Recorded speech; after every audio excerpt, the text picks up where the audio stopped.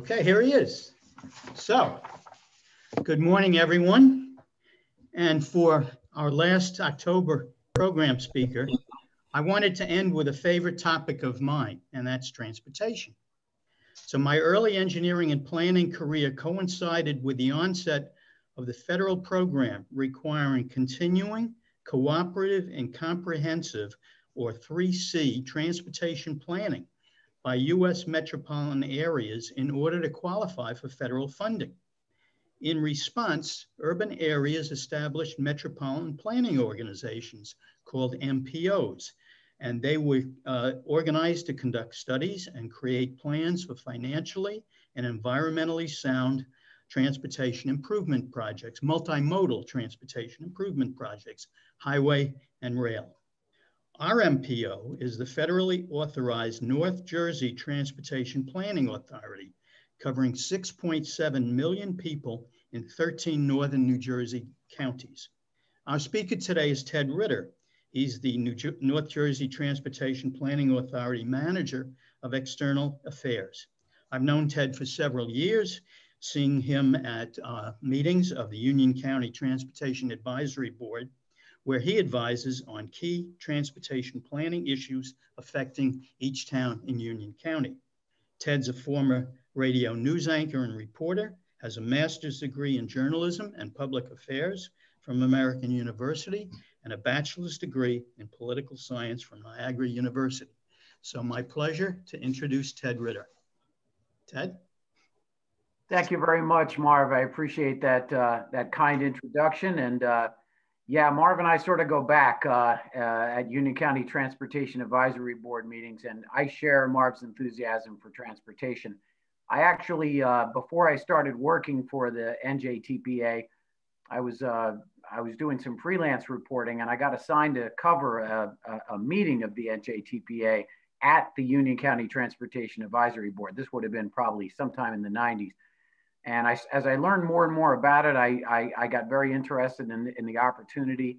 Um, and that's how I really ended up at this job. Um, so uh, it, it kind of goes back. So, uh, you know, I'm going to talk to you for a, for a few minutes and then we'll go into a presentation and then I'll come back on camera toward the end and we can do, uh, we can do a little bit of a discussion, at least I hope, and I look forward to it. But uh, as Marv mentioned, um, my name is Ted Ritter. I work for the NJTPA, that's North Jersey Transportation Planning Authority. And, uh, you know, I'm very honored to be asked to, to, be on the agenda today. I want to thank Marv for the invitation and Paul for setting everything up. And uh, it's a pleasure to be here. Um, I'm looking forward to a really good discussion about a, a, a, very important project that we're involved in right now at the NJTPA, and that's developing um, a long range vision for the region's transportation future. We're required federally to do this. Um, but our plan is called Plan 2050. Uh, transportation, people, and opportunity is the focus. So I'm going to welcome your input on this a little bit later on.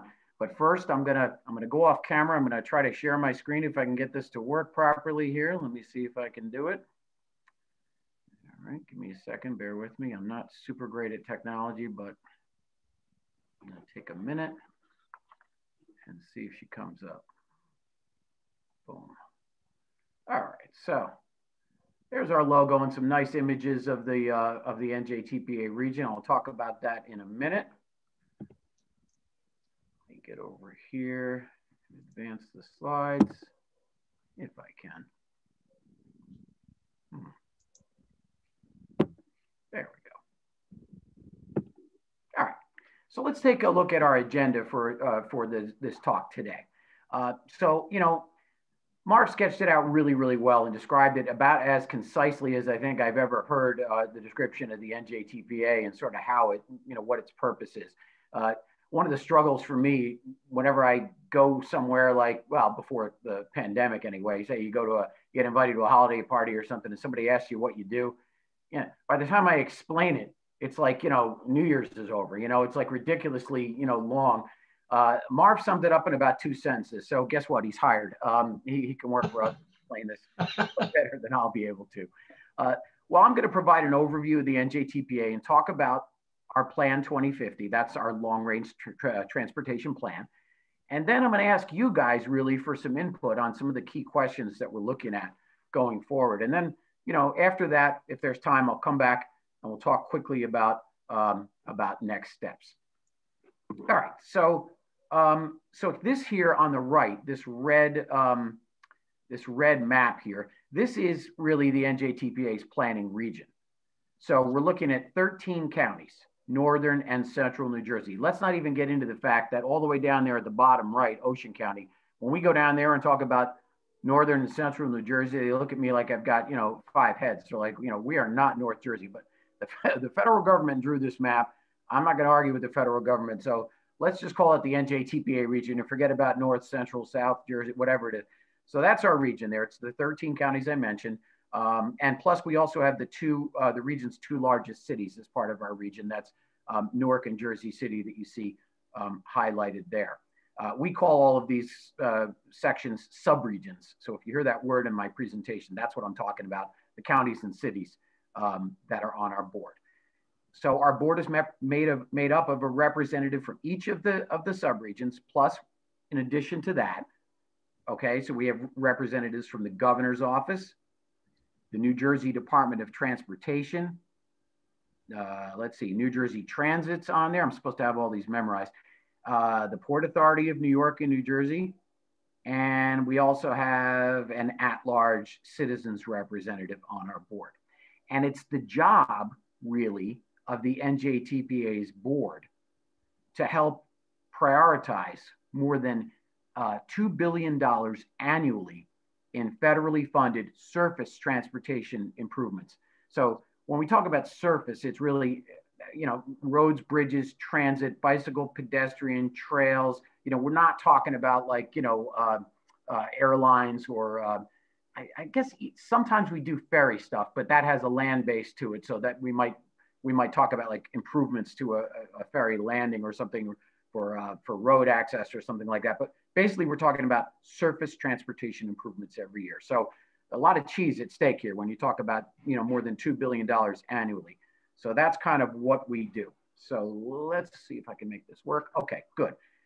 So now let's talk about the NJTPA's next long range transportation plan. Um, this is one of our most important products. And I know it seems weird to hear of like, you know, an agency like the NJTPA has products. You know, no, we're not making, um, we're, we're not making, um, you know, single malted scotch. We're not making sneakers, but we do have products. And this is one of them and probably, probably our, our, our biggest. We're required by the federal government to update it every four years.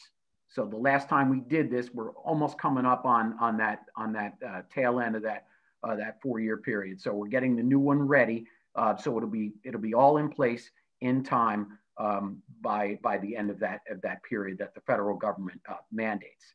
So you can think of this plan really as kind of like a scope or a vision for what the region's transportation future might look like.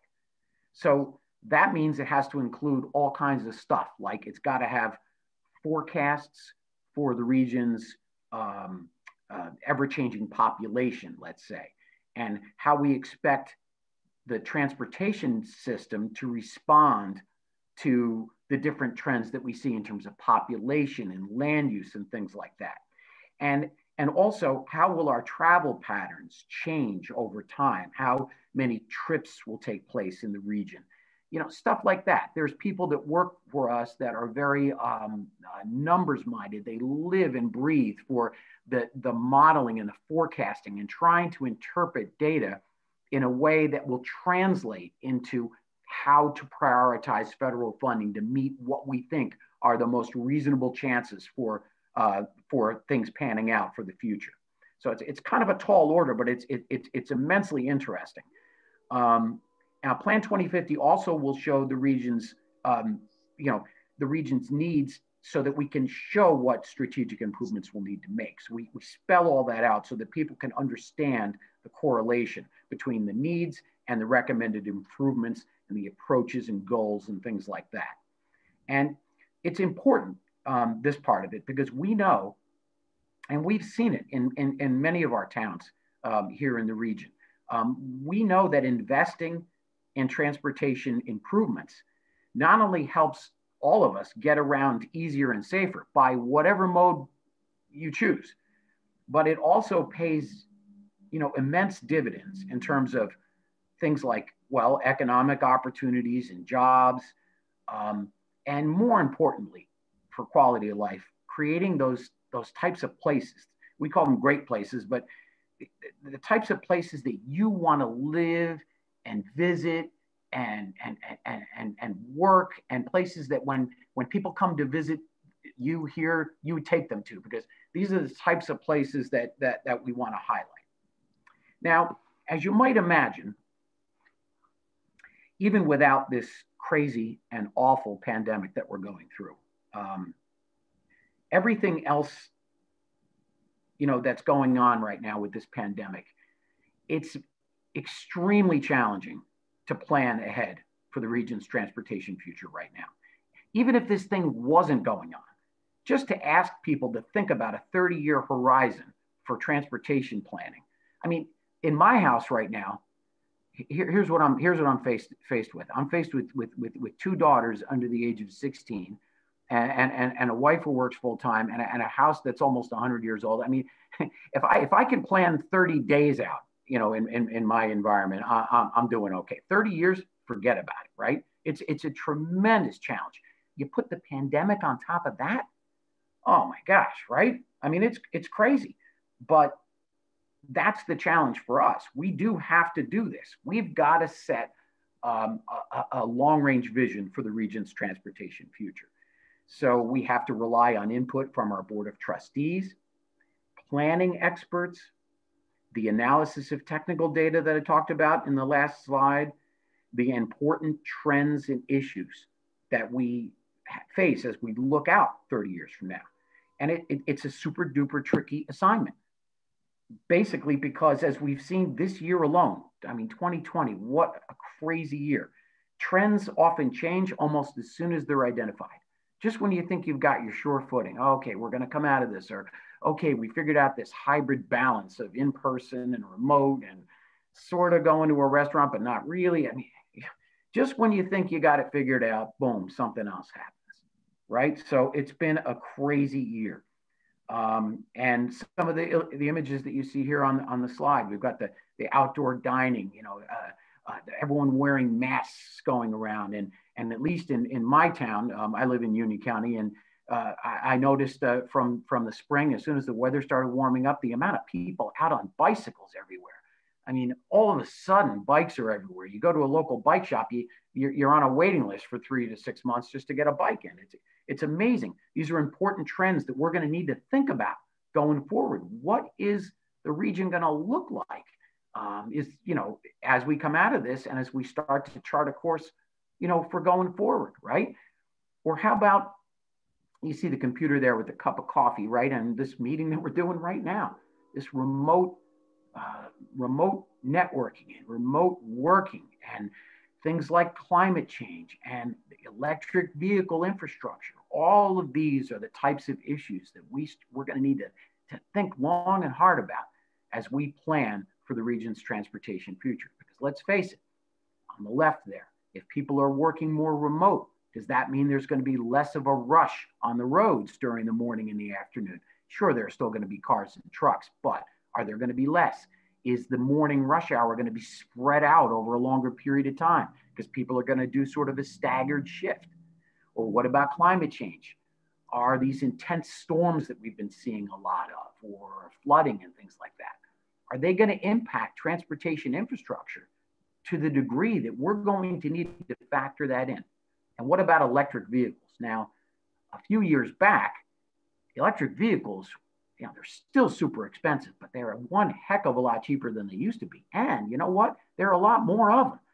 The key is as more of these vehicles go online, we know almost every single auto manufacturer, major ones, certainly all of them, have pledged to create a significant number of electric vehicles in the next, say, decade to two decades?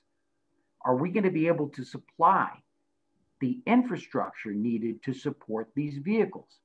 Our last chairman was Union County Freeholder Angel Estrada, who just retired. He drove an electric vehicle, a straight plug-in, not a hybrid. His day was spent trying to figure out, okay, where do I need to go? Where can I charge up? How far do I need to go? A lot of math involved in that, right? If we want to bring more electric vehicles online or alternate fuel vehicles or whatever the future is going to look like, hey, who knows what we're going to be driving around in, in the next 20 years? We got to make sure that we account for that when we plan infrastructure, right? So that's another key, I think, um, uh, transportation issue. So let's think about, um, let me see here if I can change gears. Anyway, by the way, there's a lot more game changer issues for the future. I just wanted to highlight a few that jumped out at me, you know, just right by now. But there's there's probably 10 more you can mention right in the next five minutes, right? But these are some of the big ones that I thought would help illustrate some of the challenge. All right, so let's let's let's spend a minute or two talking about the development of our long range plan. That's that's what's going on right now. That's sort of why I'm here. Actually, uh, we're in the middle of this right now. Um, you know, it's a major effort. So obviously, we've been working on it for quite a while. Uh, probably, I'd say about a year and a half. We really got down to work on on, on developing it. Um, so, for example, to help lay the foundation for the plan, we started out with a planning for 2050 speaker series the speaker series was really interesting. You guys do this too, right? You bring in expert speakers and you have these great discussions. And we did that too. We thought, let's rely on the subject matter experts and the thought leaders to, to help us scope out what we need to be thinking about in our long range plan. So we brought these people into the NJTPA to present at board meetings and get us focused on some of those trends and issues, um, you know, that we're facing not only now and in the next year, next five years, but also for the long term, long after, you know, uh, this pandemic is gone, like, you know, down the road.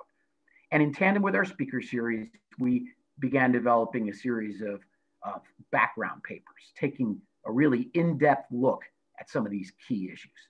The first one we did was on active transportation. That's basically, that means like if you hear active transportation, that's that's like walking, biking, and any other people powered type of transportation that we've been seeing a lot more of during the pandemic. So that would be like certain scooters, you know, those push scooters, that kind of thing.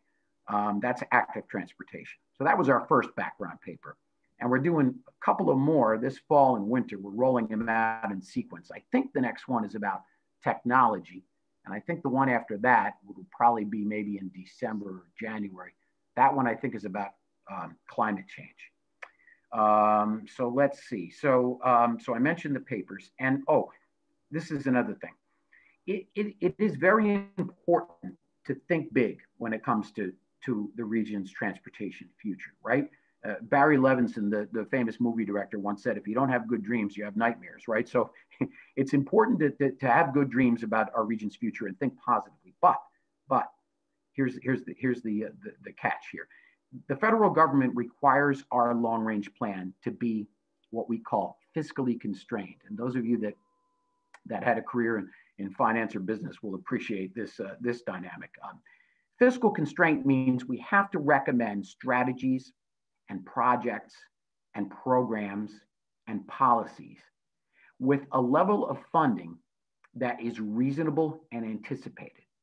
So if we decide, oh yeah, we want to create this uh, this this crazy um, network of monorails throughout the entire state that float on the air. I mean, something so pie in the sky that I couldn't even, you know, something you'd see in like a science fiction movie. You know, uh, something that would cost so much money, there would be absolutely no way that we could fund it unless Uncle Sam came along with, you know, gym bags of of thousand dollar bills, which I don't think is going to happen. So, so we have to be fiscally constrained when we develop our plan. And that's just an important point that I wanted to, that I wanted to emphasize. Um, and as far as time frame, by the way, for this long range plan, um, we think that Plan 2050 will be adopted by the NJTPA board in the fall of next calendar year. So we're looking at, I would say probably September, the September to November 2021 timeframe is when we expect to have this, this thing all put to bed and wrapped up and submitted to the federal government for their review. All right, now, hopefully I'm not, uh, hopefully I'm not talking too fast. You know, in my house, I mentioned I have two daughters under under age 16. I, I I have to talk extremely fast and loud in my house or I never get heard. So I think I'm so used to it by now that having the chance to speak to a group like this where I can I, you know, I can breathe a little bit and just, uh, you know, but maybe I'm still talking too fast and loud. Hopefully not. Um, but I do want to spend a minute or two talking about the development of, uh, uh, of our plan from a public engagement point of view. So let's start at what we think of as our base camp. That's the best way to think of it. Um, there's a website, it's njtpa.org, which is the main NJTPA website. But if you put a slash after that and Plan 2050, you see it there up on the screen in the top bullet. That's sort of our home base, your one stop shop for Plan 2050 information. We have our super quick Plan 2050 survey, takes like less than five minutes. I think it's three questions, less than five minutes.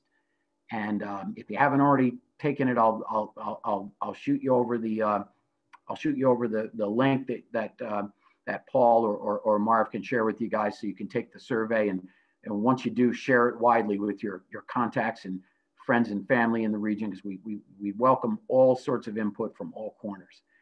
Um, also at the website, we're going to have you know information on our upcoming virtual uh, public meetings. They're going to be coming up. Let's see, and I want to say there's going to be another round in December and probably another round in January. So multiple opportunities to get um, to get involved um, as we go forward here. Uh, let's see what else. We have a short video that's um, on that website, and uh, I'm trying to think.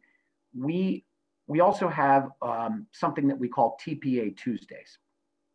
So TPA Tuesdays complements the virtual public workshops really nicely because these are um, a series of symposiums that we're doing featuring panel discussions on some of the key issues that we talked about earlier in this presentation and other issues that you want to hear about as we draft uh, Plan 2050. We did the first one was, let's see, October 6th, I want to say, and the topic was how appropriate for this, this wacky, wacky year. Uh, adapting to change was the, was the focus. Gosh, haven't we all adapted to change this year? I mean, we've done stuff just this virtual meeting, think about. Um, you know, this time last year, I don't know if I'd be doing this many virtual meetings, um, you know, to the, to the degree we are. So that's a pretty much um, a look at our long range plan. I'm going to stop sharing my screen here in a second. If I can figure out how to do that. Let's see, stop share, come back on. There we go. Put my windshield back on. So what I thought, I don't know how we're doing on time. I think it's a little before 11. Uh, get some of this seltzer here going. I got to stay hydrated. Mm. Oh, by the way, before we get into our discussion, I got to point this out because one of the rock stars in our planning for 2050 series also happens to be a member of the Summit Old Guard, Mitch Erickson, and a longtime friend of the NJTPA and a, a, a seriously solid gentleman. Um, he had one of the takeaway quotes from the Planning for 2050 speaker series. It was about a year ago. I've never forgotten it. And he said, you know what? One way or the other, change is coming big time. This was before the pandemic, by the way. You talk about a prophetic statement. One way or the other, he said, change is coming. He goes, but we have the opportunity to shape the future. One way or the other, if we do or we don't, it's going to change big time. And that's what we got to remember is that, you know, even though we may not know, we, we've got to be ready and we got to be adaptable, got to figure out a way to be strategic about the region's transportation future. So, uh, what I thought we'd do now is, um, and I'm probably going to have to rely on, on Paul a little bit to help me, you know, manage the flow of the, of the Q&A or the discussion. But I thought maybe it would make sense to, to take the three questions from our survey and have that be the basis of the discussion for today. And it's fairly easy because the questions are super simple. In fact, they're so easy that we've actually um, we're actually working on a program to take this uh, to kids to encourage them to record on video some of their ideas, so that you know we can think about uh, some of the some of the creative things that kids think about. You wouldn't even uh, some of them very closely mirror what we would suggest. Like I want I want to be able to get in the car with my parents and have a safer trip where I go. Or I wish I could take the train to more places. Or uh, I wish there was a bike lane so I could ride from my house to the park. Mean, these were all very real transportation ideas. So I thought we would take the three questions from the survey and present them kind of one at a time and just talk through, depending on how much time we have left. And I don't want to eat up the rest of your guys' meeting, but maybe we could just do that and get a little bit of an insight from what you guys think. I'll write this stuff down and I'll include it with the um, with the uh, results from our other virtual workshops and the one I'm going to do at the Union County Transportation Advisory Board next Wednesday night, and make this part of the outreach for the in the first round. And uh, you know, next time maybe we we figure out a way to to to do either a virtual meeting or some sort of a sharing of what we're doing in the next round in December and January, and keep you guys engaged going forward. Because I welcome a lot of your you guys are accomplished gentlemen, and you, you, you your insights are valuable. And um, you know, I welcome that sort of input. So the first question is, can you guys think about, um, and sort of your presidential question earlier was very similar vein, like what in the last, say, one, two, three decades have been some of the major transportation changes that you've seen in the region? And I'm going to start off to give you an idea like what, what I'm sort of looking for. When I started at the NJTPA, I was driving from Summit to downtown Newark. And I, I then I, I, I, got a, a, an apartment closer to the Summit train station. So I was taking the train from Summit to Broad Street. And I needed to get from Broad Street to downtown Newark, like over by uh, Prudential. So there was only two ways really to do it. I could walk, which was fine in nicer weather, or I could take the bus, which I found super duper unreliable. Usually when it showed up, it was already full because it was near the end of its run. Sometimes it just blew right past. There was no there was no connection really other than the bus or walking, or I guess I could have taken a bike or something, but it was very complicated. And in bad weather, forget about it, right? Well, now you can get you can get off at Broad Street there. You can hop on the light rail and you can go, uh, you know, right from Broad Street down past the old Bear Stadium, past the NJPAC, right down by by Prudential there, and down to Newark Penn Station. Like it takes, I mean, I don't even think it's a 10 minute ride. It's it's a no brainer, and the service is frequent. That's a major change right there to be able to complete that. By the way, that that was completed in the bed of the old part of the old Morris Canal where the Newark subway was built. Um, so, you know, pretty crazy. That's a pretty big change. E-ZPass, that's a pretty big change. Um, so things like that. Maybe you guys could uh, you guys could help me and, and think about some other big transportation changes that have occurred in the region in the last, say, one to three decades. Paul, how do you want to handle the, uh, the, the questions? Okay, well, actually, John is our primary Zoom host. Well, if you have a question, raise your hand and I will call for you and I'll unmute you at the same time. Excellent. Okay, uh, let me uh, ask Bill, Bill Tittle, uh, Tittle first. I am going to, Bill, I'm going to unmute you.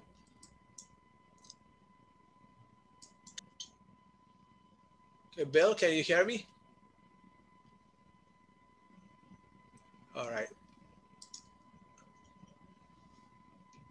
Now I'm unmuted. Okay. Okay, good. All right. Yeah, uh, very interesting uh, talk, Ted, because transportation, mainly to work, has been a big issue in my life. When I first started working, um, I was living in Wilmington, Delaware, and I had a incredibly simple reverse commute. I lived in downtown Wilmington and my work was in the suburbs. So it was heaven. Then I took a job in consulting in New York City and uh, moved to Westfield. And I was working in Westchester County, New York, 55 miles each way. It was like three hours of my day was spent on the Garden State Parkway, the Tappan Zee Bridge. I used to dream about commuting uh, and I was commuting on like a sled with uh, little rollers on it. It was it's terrible. Um, so my question is, um, people uh, are going to have options in the future that they didn't have in the past with all of this. Uh, you can work at home if you want. And um, I would recommend you, it's really think about this in terms of your plan 2050 because um, in 30 years, I think that's going to have a tremendous impact. People reducing uh, I know a lot of my friends in Westfield, they just hate the commute into New York. So people are going to try to not do it. That's not really a question, but that's my big uh, issue regarding transport, uh, transportation.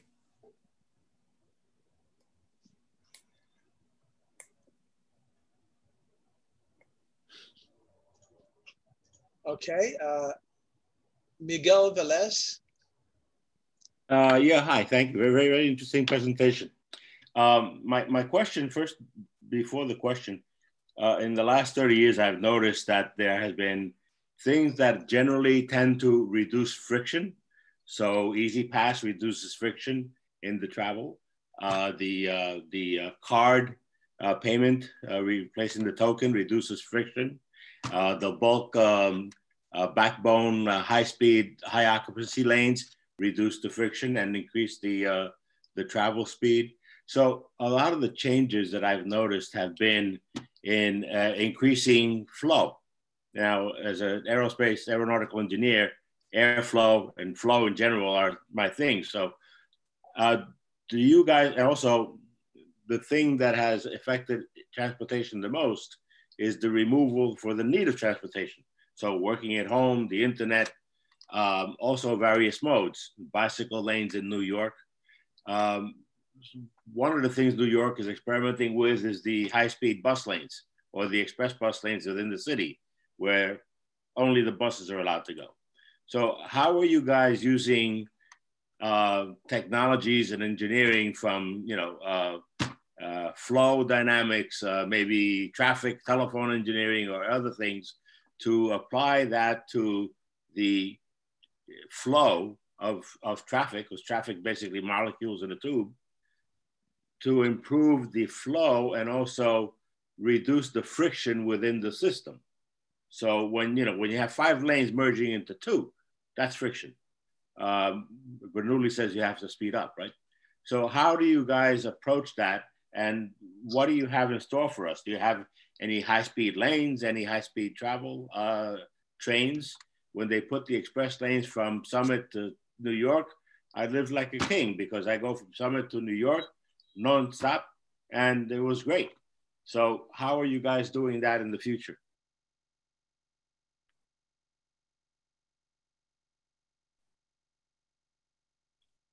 Ted, you're muted.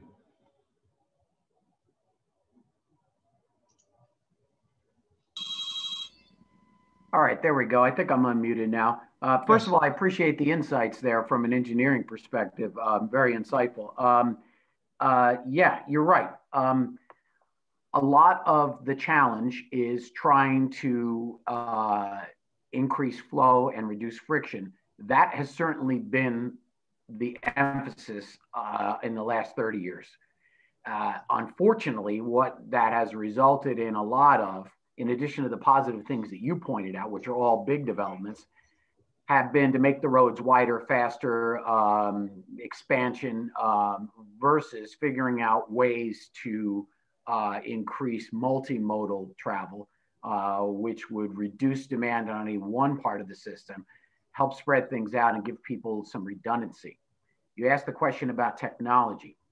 The first thing that came to mind when you asked that question was the results of Hurricane Irene and Superstorm Sandy, but especially Irene because that was a that was an inland storm, and we we got tra uh, transportation data from you know uh, the, the, the the question about technology.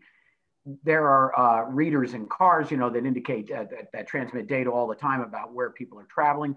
We study a lot of that data. Um, I don't have access to it, but the modelers and transportation forecasters do uh, as part of an agreement with um, with the, uh, the vendor. Um, and they study the traffic flow. So we know where people are, when that storm, when Irene hit, we saw the travel patterns change dramatically. Same thing happened during Superstorm Sandy. It was a different type of storm, but we saw similar traffic patterns. So what we do is we look at, and we're looking at it right now during this pandemic too, believe me, we're figuring out based on the way people are moving and the way people are changing the way they move, uh, what the dynamics are and how they're changing. And then we have to take that and put that into, in, into our, our long range plan. I, I'll confess, I'm not, I'm not a Mitch Erickson. I'm not a super technology guy. I'm not a science guy uh, like he is, um, which is probably one of the reasons I got into, uh, I got into journalism and communications is because uh, it's never been my bag. But I can certainly dig the fact that, that technology is going to be what enables us, I think, to leverage some of the opportunities that we have. Uh, for example, let's say, let's think about the old days on the New Jersey Turnpike. The only thing you had going for you at that time, as far as information about, say, an accident or construction, was either a traffic report on the radio, assuming you were listening, or one of those gigantic. You remember those things? It was almost like a. Uh, am trying to think of what the right word is. I guess neon sign or something. It was like a big sign that would say like congestion or accident. No information about it. Just so you knew that the reason you were sitting in this was either because of congestion or accident. Think about where we are today in terms of technology and the information that we're able to get, the know before you go kind of thing, where you can get results in your in your um, in your Google Maps or any of your traffic uh, apps that you have that can that can help you plan your trip better to avoid um, situations. So I think technology is going to play a similar role going forward, not only in making our transportation cleaner and more efficient and safer, but also to help us figure out ways to take the existing system that's pretty much already built out in northern New Jersey, figure out a way to reimagine it so that it's a more modern transportation system that can get people where they want to go efficiently and safely and have alternate choices of modes. God forbid something happens in one of those tunnels or in one of the bridges going to New York, or even here in New Jersey at the shore, a major bridge that goes out because of a storm. Got to figure out ways to have redundancy into the system, and I think technology can help us figure that out. Um, I hope that's a that's an adequate answer, uh, but I appreciate your comments about E-ZPass, about the HOV lanes, the XBL lanes, those express bus lanes um, and, and, and, and all the things that you, that you emphasized about increasing flow and reducing frictions. They've all been major game changers. And some of those ideas can be used on a local scale. They're looking at possibly doing something on Route 9 North with the buses, having a dedicated, it's a very narrow stretch there, especially as you get down into Ocean County. But they're thinking about possibly making some alternate times where buses will have priority. Maybe we can get people to move faster and get those buses out of the mix before cars start going into shopping mode and dining mode and things. All right, I'm going to mute myself in case there's more questions. Paul Tukey, you're next. There's an interesting phenomenon uh, that sometimes when you build wider, faster, better roads from between distant points because you have traffic congestion and you think you need that, that the net effect is not actually to alleviate traffic, but to encourage people to to commute farther and to move further out into the suburbs and you know the nice areas and then they all move out there and build new developments and so on and so forth and now your your new roads are still congested yeah so do you take that kind of thing into consideration in your planning ted you're muted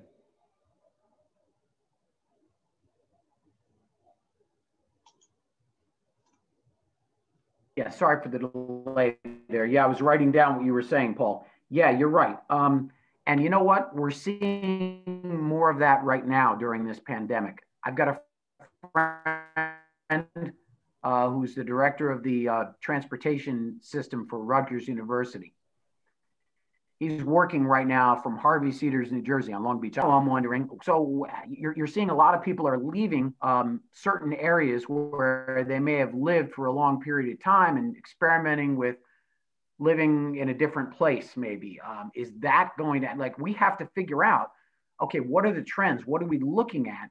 And how are we going to accommodate? Because you're right. If you take a place like Sussex County, and where there's virtually no public transit other than buses and you put a whole bunch more people there because they, they love the location and it's, it's, it's so scenic. It's the type of place you put somebody down in Sussex County and ask them what state they're in. They would never in a million years guess New Jersey, right? It looks like something out of a, out of a, like a New England magazine or something. Well, we've got to figure that out because we know those, that we know that we can see the land use, the trends, the data. We know there are people moving to places like this and we, we can see the changes in our downtowns. Think about Fanwood, Garwood, Cranford, Union, uh, Hillside, a lot of these places are redeveloping um, parts of their downtown. They're going to look a lot different. Downtown Garwood was a largely industrial, um, had a very large industrial base in addition to its extensive retail and there were apartments and things. Look at what they're doing there now. They're building all of that new development around transportation, around that tiny little Garwood train station. I'm willing to bet you that by the time the horizon year to our plan comes around, that Garwood's going into those those apartments and all that extra retail, people are going to want access to the to New York, to Newark, to culture and arts and all the other offerings or work. And I'm betting that that's going to require improvements going forward. Uh, Fanwood did the same thing. Fanwood built all that redevelopment in the middle of the Great Recession. Nobody was in those units at the beginning. You go down there now, there's people all over the place in downtown Fanwood. Um, and I think Cranford was ahead of the curve on, on a lot of people. They did their redevelopment even before Fanwood did. And you can see how much that has transformed the downtown. It still looks like old fashioned Cranford on many levels, but um, think about Summit and, and, and, and Cranford and how they've, how they've really uh, reimagined a lot of their, a lot of their downtowns. I'm anxious to see what that's going to mean for the region's future, but it's the NJTPA's job to take that into account.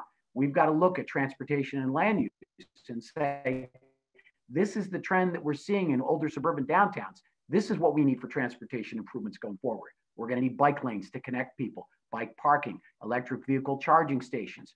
We're going to maybe need to think about our surface parking lots that only accommodate one group of vehicles at a time. Maybe there's ways we can reimagine part of those parking lots to accommodate ride shares or Uber or Lyft or something like that. Or maybe there's there's uh, bike shares or, or e-scooters that you can rent just for short trips around town. So you don't have to drive everywhere, you know, assuming it's not pouring rain or negative, you know, 2000 degrees out, but you know, maybe there's a way to do that. So that's part of what we need to think about in our plan and certainly what we're addressing um, in, in, our, in our long range plan. Um, anything else as far as major changes that we've seen? And then we'll move into what we'd like to see for the future, which is probably even more important question. But I wanted to provide some context and get people's juices going on what we think of when you think about transportation. Well, we have, I think, uh, more than a dozen of dozen people that still have questions. So, uh, Donald Young, could you uh, ask your question, please? Sure. Uh, very good talk, very uh, inspiring and uh, interesting. Um, I have kind of an odd perspective on things. First off, I'm very much in belief that we have become extremely automotive and truck oriented in the last 70 years.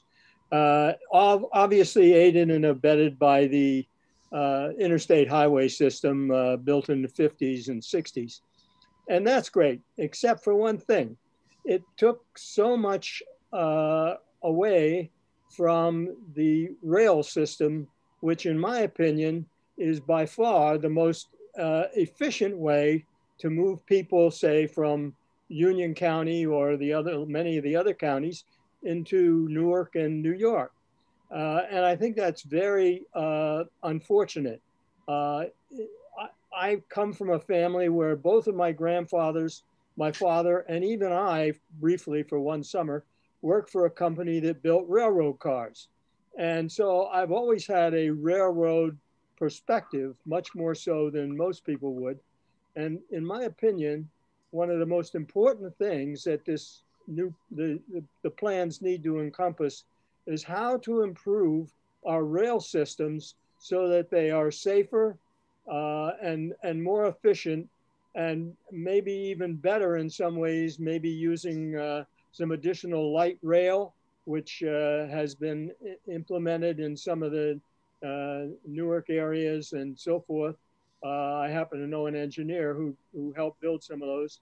And I, I, I really think we need to put more emphasis on the rail system because we've put so much emphasis on the highway system for cars and trucks that uh, it, it's really overshadowed the rail system and it, and it deserves much more attention. Thank you. Yeah, thanks very much. That's that's an excellent point. Um, there certainly has been. Um, if you look at, you know, there was one time where uh, in this country where you could get on a train and Uh, uh, you think about in Jersey City, right? The, the main train station there in Jersey City, and they still have the old rail boards up, the destination boards that show where you could go. You could go. You could go to Southern Ocean County from Jersey City. You could get on a train in Cranford and probably go to Ohio. You know, it, it was amazing how um, there how much connectivity there was by rail and where you didn't have that, you had streetcars, you had um, all these other, you mentioned the Newark Light Rail, the original Newark subway system with those old fashioned, uh, those PCC cars that I loved. They sort of looked like a bus, but it went underground. Really cool stuff. I mean, yeah, that stuff has all been sort of, um, in many places, sort of been um, been de-emphasized in favor of those uh, uh, bigger, wider, faster uh, highways. Um, that certainly took place, I guess, starting around the 50s and pretty much continuing through the 70s and 80s and into the 90s. I think what we're seeing now um, is a recognition that uh, something has, has is going to have to change. Uh, we're not only seeing um, less um, of an emphasis, I think, in terms of, um, uh, let's just take during the pandemic. There's probably more trucks on the road now delivering or vans delivering vehicles to Amazon or whatever else than there are cars during the commuting because a lot of people are doing this remote uh, hybrid working. So I'm wondering if, uh, what is that going to mean for the future? Are we going to have to have truck accommodations for deliveries at a set time of day versus trucks coming and going all times?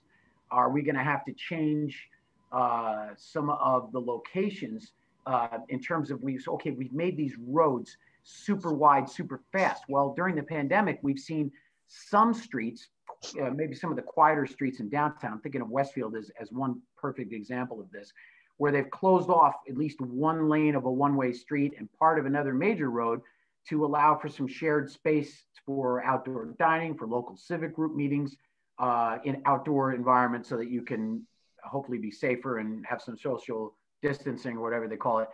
Um, so what is that going to, after the pandemic goes away, are people going to say, okay, I just don't want to do that anymore. I, I, don't like outside dining anyway. Or, or no, I didn't really enjoy having a place to sit outside and listen to some live music outside, uh, in, like on the, almost near the street, as opposed to having to go to a park or something. Are we going to need to remake our transportation infrastructure? And what's that going to mean for the future of rail? additional light rail is certainly way more cost effective than heavy rail. It's easier to build light rail than it is, you know, like say the Raritan Valley line or something like that, or the Morris and Essex or any of the major rail lines. Maybe there's a way we can take some existing capacity and figuring out a way to remake it for the future. They talked about doing that on part of the old, um, I'm trying to think of what the line was there. I think it was the Rahway Valley line. Um, there's some uh, capacity near the Raritan Valley line that would have gone, I guess, uh, at, at, Cranford or Roosevelt Park, it would have split and gone over toward Elizabeth. I think there's some existing tracks there. They were talking about making that like a dedicated busway or a or a light rail, sort of a, a vehicle that could sort of go on a rail and then also change and go onto the street for a period of time. They were talking about doing that. I mean, these are the things I think that we're going to need to think about, not just as pie in the sky ideas, but real ideas, because it looks like the landscape for transportation is going to change. And we just need to figure out a way to predict what the change is going to be and to be adaptable enough that we have options. Right now, like you mentioned, the, the rails were intentionally de-emphasized. There was a reduction of service, reduction of destinations, uh, less funding. There's been neglect of the system. You see what New Jersey Transit's got its hands full trying to deal with now. Uh, just years and years of, of intentional underfunding and neglect. And I think it needs to be addressed.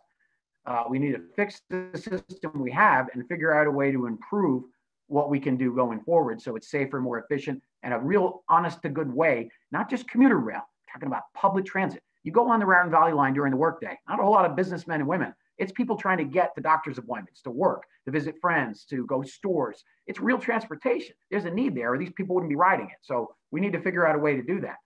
And it's probably going to be a combination of multiple things, multiple modes to get it done. Rail's going to be a big part of it. So any other ideas before we move on to, um, I guess we really have kind of two more little quick questions, but um, is there anything else we want to address before we go on to what you what else you guys would like to see going forward? Real things that would make it a difference to make it easier, safer, better to get around where you are. Well, if I may uh, suggest something, we have uh, over 12 speakers, uh, 12 uh, questioners, but perhaps we could uh, delay this. You, you, you second, the second question you have, and after the, uh, 11.30, who wants to, whoever wants to leave will leave and we can continue this for, if, if it's all right with you, for a while longer. Sure. Okay, now, uh, since we have blue hands here to uh, uh, to ask question number one, I would suggest that for the second second issue that you have, whoever wants to ask a question, you raise, uh, you don't raise a hand, you just press yes. So I will be able to separate people who who have a who have a question that we're currently talking about to the question that we will be talking about. So if you have any question uh, that uh, Ted will pose right uh, to, to the issue that Ted will pose, just click yes. All right? Okay. Ted? Ted, say the question again. So uh, basically what I want to see is uh, some ideas on what about the region's transportation system you would like to change for the future. Like um, one example, like for me is I live in uh, Union County, and my daughter and I are avid bikers, and we like to ride around on our bicycles all over the place. And they just experimented during the pandemic with a pop up bicycle lane going from sort of where our neighborhood is to downtown Westfield. And it was great, but it was on a busy street and there wasn't really a lot of separation. It was a little tight, but it was a change. And it was, it was, it was somebody had the political will to try something, right? So for me, I would, for the future, would like to see some more emphasis on, on infrastructure for biking and walking um, so that if I lived close enough to where I wanted to go shop or say I wanted to go downtown and buy a bagel or something, I don't have to get in the car and drive and park in a parking lot. And, and it's a short trip, less than a mile. I could have walked, I could have biked. If I had a place to park my bike, if I had a dedicated bike lane, if I felt safe on the road with my daughter, so I didn't have to worry about getting pummeled by a Chevy Suburban on my way to go get a, a, cookie or something, you know? So when I saw that bike lane, I thought, man, I hope they do this again. I hope they put more bike lanes in there because guess what? There's a lot of people like me that would walk downtown if they felt it was safer and their sidewalks weren't all broken up and and and you felt like you when you got there you didn't have to chain your bike up to a sign and get yelled at by the bakery guy because you know you're blocking pedestrian traffic you know well you know what if i had a bike rack that near your business or somewhere in the downtown where i could park instead of only at the train station, maybe I, I would ride more. So that for me would be an idea, like thinking for the future. I'd like to see more emphasis on, on bicycle pedestrian infrastructure. What are your ideas? Like, what do you, what would do it for you if you could say, I want like one wish list, like for Santa Claus, wish list for transportation future? What would the thing you'd pick as your as your wish? Okay, uh, David Ogdens, you have a question? Yes, um, actually, um, that was just a very good speech because that's what I would love to see. Um, my wife and I, we love riding bikes and have been to countries like Netherlands and they have dedicated bike lines, uh, bike lines all over the place. I mean, I would love to bike into New York City. There is no way you can bike into New York City. Impossible. Uh, I've tried the George Washington Bridge. That's about the only possible way. But when you get over the bridge, uh, it's, it's literally impossible.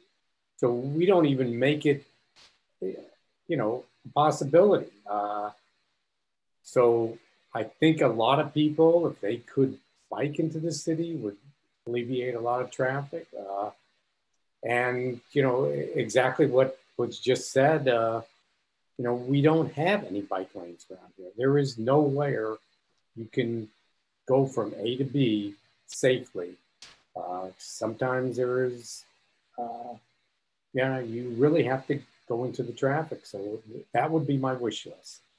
Um, and also, I think if we can expand on either light rail or, you know, because I would also love, I live in Berkeley Heights, I would also love to get to the airport without having to take a car. And the only way, th- there is no possible way to do it without getting wet and without taking this, uh, you know, because Newark Airport has no, nothing that goes around it that extends elsewhere. You know, um, everything is made for parking.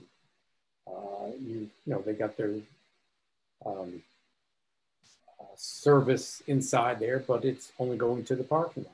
So that would be another wish list. Really, and and I see this. I know we had this uh, discussion, the other thing, but this new uh, American Mall.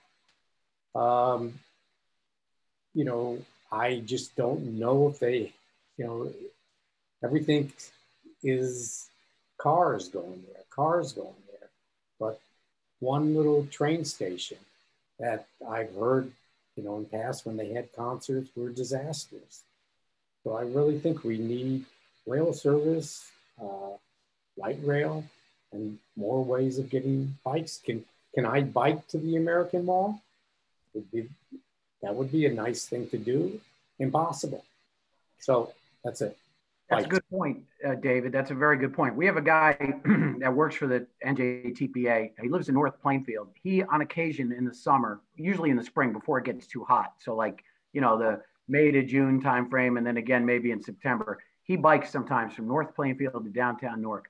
You, man, if you ever wanted to listen to a testimonial of what's wrong with the with the transportation infrastructure from a bike uh, perspective, you talk to this guy. I mean, even where he feels the road is wide enough to ride, there's like rubble and glass and pieces of debris on the road. I mean, it's it's a contact sport. It's like something out of like a, a, a dystopian uh, uh, movie, you know, where you're you're trying to dodge all this uh, all this uh, vehicles, high speed vehicles, and and all this debris on the side of the road. And even in places where there might be a bike lane, it might not connect. So you're okay in town, but then what if you want to ride somewhere farther? Like you mentioned about the, the getting to the George Washington Bridge, you know, okay, you can get across the bridge on a bike, but what happens before? What happens after? You know, uh, so it, it's an interesting question, and it's it, and it's certainly a, a, challenge. And you're right, um, everything is sort of made for parking and vehicles. That's sort of the way the system was engineered.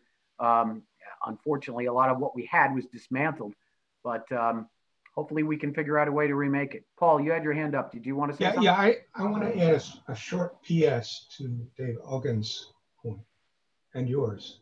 And that is, besides just better bike lanes and infrastructure for bicycle riding, I would like to see all, all public conveyances have better facilities for carrying your bike with you so that you can actually do a bike ride somewhere else in the state without having to put it on the top of your car.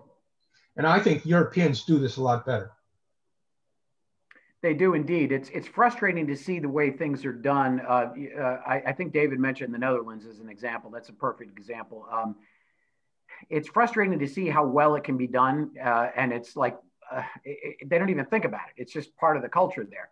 Whereas here, you try to bring your your bicycle on a New Jersey Transit train at any Raritan Valley station, and if you're in the middle of the day uh, you're probably okay, but you're still going to get sort of like some friction from the conductors. And well, you're not really supposed to have the train on during these times, the bike on the train, and you can put it over here, but you can't put it here, and then you're in the way.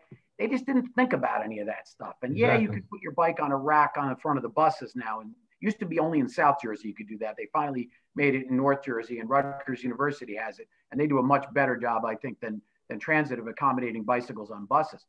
But if it's a crowded bus and it takes you five minutes to put your bike on there, you're going to get a lot of looks when you get on that bus about people that are in a hurry to get to work. It's just, it's just that tension, you know, and it just it needs to something's got to change because we can see what a difference it would make if we could just reduce by a little bit some of the some of the single occupancy vehicles, people in cars, and just if we did 10% bikes, it would just it would free up so much more capacity. Could be a big game changer. Any other ideas? Um, Okay, uh, Edward Pat- Patkin. okay, okay, okay. One thing I find, you know, I've gone out used the bicycle a lot more this year. I find a big problem is riding between Merck. I live in Union, between off Salem Road, riding between Merck and let's say in through Kenilworth. There's by the Parkway. It's, I don't feel it's safe for bicyclists. Creating more safety area for bicycles. That's a big area problem. in That area. You know, I've also noticed the train station's been empty. I like to see, you know, better, you know, train service. Let's say maybe the Raritan Valley line extended back into Pennsylvania again. I think we need to address the bicycles, is create doing something in that area. Can I interrupt for a moment, everybody? I, can I interrupt for a moment? Listen, it's um, 11:35. The meeting officially ended five minutes ago.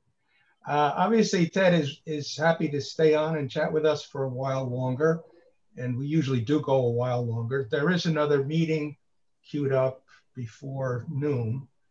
And so, you know, I, I would say, um, you know, we, we could finish, we could do the formalities and then keep talking, or we could just say, let's take a small number of questions and then move on.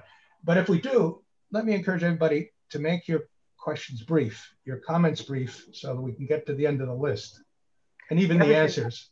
Paul, I noticed in the uh, chat room, uh, Mitch Erickson said that he would work um, with me to establish a way to uh, contribute individual opinions after the meeting. Yes, What I can and that's important. So let's, want, I can post my email address in the chat box, and you can, you know, I, I can appreciate that it takes time to think about this. A lot of people, a lot of times when we talk to people, they say, you know, it's hard to think of an idea on the spot, but if I had like a few minutes to think about it, I probably could have come up with a lot, you know, more eloquent. So you know what? Take a few minutes and think about it. Take a couple of days and think about it, and shoot me an email later in the week or give me a phone call, and you know we can BS about it, and we can, you know, hopefully figure out a way because I want to write all this stuff up as a report and say I talked to the Summit Old Guard. This is the overwhelming, you know, summary of what I heard, and I Yeah. want it to accurately reflect that. okay, so maybe we can find a way to do a group chat by email, so that it's not just uh, one-on-one, but, you know, we're still continuing the conversation. So John, take it away. It's up to you what we do next. Okay, uh, let's, uh, okay, Jim Fagan.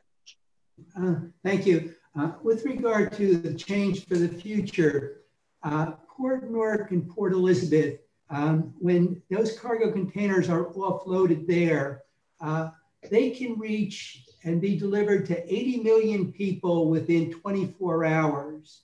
Uh, The truck traffic that the port area uh, generates is enormous. Uh, Query, uh, could there be a way, for instance, where those containers could be offloaded onto a rail siding and shipped out 50 or 60 miles and then unloaded there onto trucks to be distributed wherever they need to go. If you were able to mitigate the truck traffic in that Port Newark, Port Elizabeth area, uh, that might ser- uh, solve a, a lot of the problems that are being raised.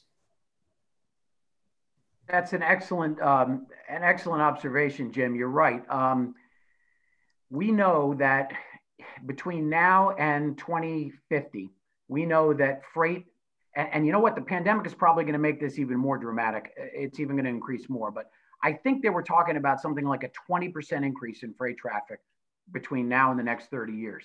Can you imagine? I mean, things are already in, in this in this region with freight traffic. Um, you know, I can't imagine a 20% increase without making some additional accommodations, either in either in doing something super creative like Jim suggested, which is to offload the containers onto rail, get them out of the region, and then spread out the distribution so that it's not impacting so much traffic. Or if it's coming up with other creative ways, um, they, in the old days, they used to have um, uh, cross harbor floats. Uh, they would transport some containers by by barge. I think there's only one or two, and I think they're both automobiles. I don't think they, I don't think there's any other goods that are transported by float um, that they used to for decades. It was a humongous operation. Um, I would think that now with the uh, with the improvements in maritime technology, you'd be able to figure out a way to reactivate some of that and get some of those trucks off the road. Um, even if it was a, again a small percentage, it might make enough of the difference where we could accommodate for whatever future growth we anticipate. But that's an excellent uh, excellent observation. I'm glad that Jim brought up freight because we hadn't heard that yet. Okay, we have about I think three or four questions left, so let's just do those and then we'll go to your next question. Okay, Peter Moret. Okay, am I unmuted? Yes. Uh, yeah, we can hear you. Okay. Um, a few years ago, there was a lot of excitement uh, between Princeton and New Brunswick about a new train station. And uh, housing was put in there, apartments, and a lot of infrastructure, fountains and access roads, and uh, Starbucks and other facilities. And there was, a couple of years ago, there was what was supposed to be an opening of the train station. The trouble is, the train station itself has not been put in place. So a lot of money has been spent on the, the infrastructure and uh, fountains and such like, but the train station itself has not been put in place. Uh, in the last few years, there's been no progress with the train station. Uh, uh my question is, why not? What happened to that vision? And everybody was so excited about it because it was going to take a lot of people off the highways and they would be able to live in these new, this new housing right by the station. It would have been very uh, helpful to mass transit, to have that mass transit and to get cars off the road. Yeah, thank you, Peter. Uh, that's a good point. I'm not super familiar with that with that project. Certainly, the particulars of why that was never built. But you're right. Uh, it seems to me that a bet was made and they just they knew that if they build you know what's the old statement if you build it they'll come well here they built it and they didn't uh, finish it finish it um, so there's there's there's there's no connection um, that's a tremendous problem it's a, a lot of times it's a lack of vision um, a lot of times it's a lack of political will or changing political will and a lot of times it's somebody ran out of money i'm not sure if there was a combination of things on this one or if something else happened but i can certainly find out um, but it illustrates a, a, a bigger point, um, which is the connection between transportation and land use. How can you, if you look at the locations where a lot of redevelopment is occurring uh, right now, um, most of it, not all of it, but most of it is centered around transportation. We had an old uh, uh, uh, uh previous chairman of the NJTPA board, Peter Palmer, who was a Somerset County freeholder for many years. He's still active with the Raritan Valley Rail Coalition um, in his retirement he said a great quote. Um, he said, transportation is the game board upon which the economy is played. And boy, is that right. Um, you can't build all this stuff and then not give people a way to get there uh, or a way to connect, and it doesn't make any sense. So um, I'm not sure what happened with that station, but I, you know, I, I, can follow up and find out, and and we can use that as a um, as a tale of that illustrates the need to really connect the better plan land use and transportation up front, not as an after the fact. Okay. Philip Apuzese. Yes, hello. Uh, speaking to you from uh, the Seattle, Washington area. And I want to recommend that the folks in the TPA should reach out to Seattle, Bellevue, Washington area. There's been an incredible amount of huge growth of population and a lot of buildings and specifically in regard to the uh, use of uh, public transportation as well as bicycles. It seems to be not the area, entire area is extremely bicycle friendly, but bicycle friendly, number one, in infrastructure, of course, but number two, and way more important, is bicycle friendly in attitude, motorist attitude. And that's something that you start need to start in grade school with the children that that attitude needs to, to change if you expect to do anything meaningful with transportation bicycles in the North Jersey area.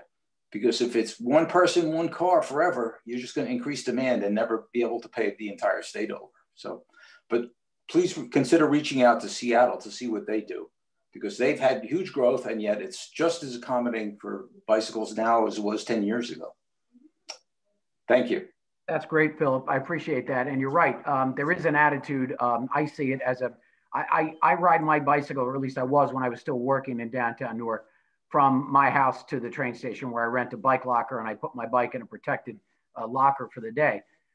I can't tell you how many times I've gone down North Avenue uh, in Westfield and been yelled at by drivers to get up on the sidewalk, get out of the road. Um, I, it, it's it's it's really it's uncomfortable and it's, there's a lot of uh, profanity and yelling and and there's vehicles sort of intentionally moving over to the curb to try to push me. You know, it's it's it's pretty hairy. And you're right, there is this bias against it. Um, I'm in a big car uh, with an eight-cylinder engine. I'm going fast. Get out of my way. Um, it's got to change because you can't fit any more cars on the road the way it is now. Um, so you're right, and I will definitely bring up the Seattle. Uh, you said Bellevue, right, Phil? Bellevue, yeah, it's right right across the, the water from Seattle. But it, it, they've had incredible growth, and uh, they just they accommodate even during construction and road closures. They'll specifically indicate bicycle paths and the way to go, and they'll build you know temporary around construction sites and all this. So you can get anywhere you want. The ferries, uh, everything on the bicycle. Great. Yeah. Well, maybe we can reach out to them and, you know, for the NJTPA, mm-hmm. maybe get, get somebody there to do a webinar or a speaker uh, thing and show us some examples of what. Right. We'll yeah. Okay. Great. Yeah, their whole bicycle master plan too. You want to? they've got a phenomenal bicycle okay. master plan. So. Thank you. I appreciate the opportunity to reach out. Yeah, thank you.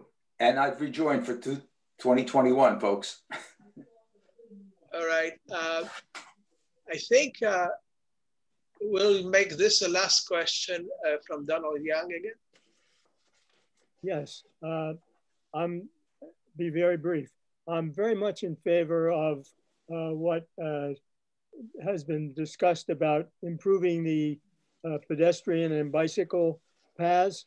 And I'd like to just point out one thing that hasn't been even mentioned about that, and that is that from the standpoint of health and fitness, uh, that would really help if we could promote more walking and bicycling, uh, particularly for people who are retired or have the time uh, to do it. Uh, I'm a bicyclist and I have to be very careful about where I bike around Cranford, Westfield, and, and pick the parks as much as I can in order to bicycle safely because I know exactly what Ted is talking about.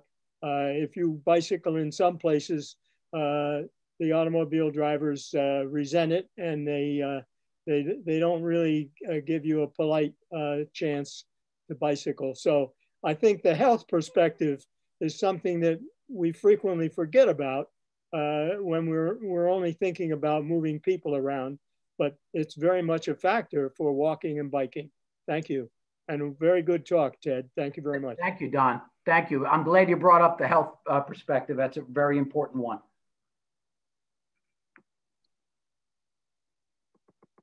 Okay, well, I posted my email address in the chat box. Maybe Mitch uh, or Paul um, could share my email address with the group uh, via email. And if you guys have additional thoughts in the next few days, or even a week or so, whatever your convenience is, shoot, you know, uh, send me an email or give me a phone call and I'll, uh, I'll, I'll be happy to include it with the summary that I'll write up for this meeting. And, uh, um, you know, I look forward to any additional uh, opportunities to, to, to incorporate your comments and ideas. It's been enlightening. And I got to say, um, it mirrors a lot of what we've heard already um, from a lot of different people. I think people are kind of fed up with the way things um, have gone. And I think they want change, regardless of location, regardless of age, regardless of ability. Um, they want better, easier, safer, more intelligent ways of getting around. Hopefully, we can deliver in this long range plan. And I really want to thank you guys for all of your insights and for having me on this agenda. I apologize for taking longer than I was uh, uh, allotted, but uh, hopefully, no, you know, no need to apologize. One thing about OCA is we have a whole lot of questions to ask. We always do. So, so that's well, that's great. I appreciate that's it. the territory. Hey, uh, Marv, why don't you wrap it up? Okay, if we can post the uh, certificate. Yes, indeed. I do not have it on my computer. Does anyone else? Mark? Uh, let let me dig it out. I think we have to end it because we've okay. run out of time, but we will do the follow-up. Here we go. Here we go, Joel. So we have two ways of expressing our thanks to um, our speaker, to Ted. First, This is our certificate of appreciation. Wait a second. Joel, wrong one. Got it? Joel, that's the wrong one. Well, that's mine, yeah. I've got to post Ted's. No, hold on a second. I- There it I'll is. take Okay. I'll- I'll Okay, Marvin's. good. That's the one. Good. That's the one. That's the one. So this is our certificate of appreciation, and it bears the image of an orchid. And that's because Summit was the orchid capital of the East when Old Guard was founded in 1930. And so it says, we are happy to take this way of expressing our gratitude to you, Ted, for the contribution you've made to our organization. And we have a second way of expressing our thanks, and that's the Old Guard salute. A big round of applause. So let's all do that if we can.